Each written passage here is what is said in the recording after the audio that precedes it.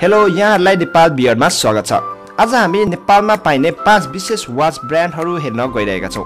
यो भिडियोबाट नेपालको महँगो घडी बेस्ट ब्रान्ड्स फर वाच घडीको दाम पनि थाहा पाउन सक्नुहुन्छ। लिस्ट सुरु गर्नु अघि यस्तै नेपालको जानकारीको लागि च्यानललाई सब्सक्राइब गरी भिडियोलाई लाइक पनि गर्नु हुन आग्रह गर्दछु जसले धेरै सहयोग पुग्नेछ। नम्बर पाँच T shirt watches. Eighteen fifty थ्रीमा स्थापना भएको यो ब्रान्डको घडी नेपालमा छ्यापछ्याप्ती पाइन्छ। तर ओरिजिनल घडी लगभग बिस हजार नेपाली रुपिसबाट सुरु हुन्छ। स्विजरल्यान्डमा यो घडीको हेडक्वार्टर रहेको छ। लग्जरी वाचमा यो घडी रहँदै आइरहेको छ। नम्बर चार टाइमेक्स घडी।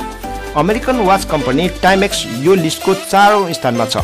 टी सर्टभन्दा टाइमेक्स घडी नेपालमा अलिक एफोर्डेबल छ।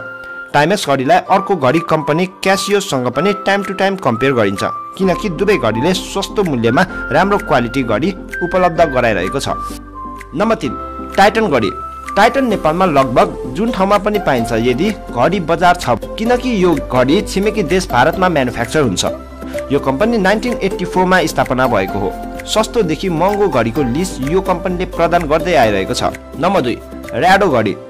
संसारमै राम्रो मानिने ऱ्याडो नेपालमा पाइने एक फाइनेस्ट कम्पनी हो। गुणस्तरले गर्दा यो घडी अलिक महँगो रहेको छ। नाइन्टिन सेभेन्टिनमा स्विजरल्यान्डमा यो कम्पनी स्थापना भएको हो। यसको थुप्रै लग्जरी मोडल नेपालमा पाइन्छ। डेढ लाखको हाराहारीबाट यो घडी किन्न सकिन्छ नेपालमा। नम्बर एक रोलेक्स घडी। लगभग हामीलाई थाहा छ कि रोलेक्स नेपालमा पाइने एक पपुलर र महँगो घडी हो भनेर।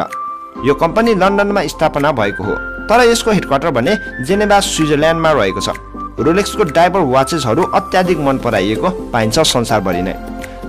यी थिए top five best watch brands in Nepal. Thanks for watching Nepal beer भन्दै आजको यो भिडियोबाट बिदा चाहन्छु।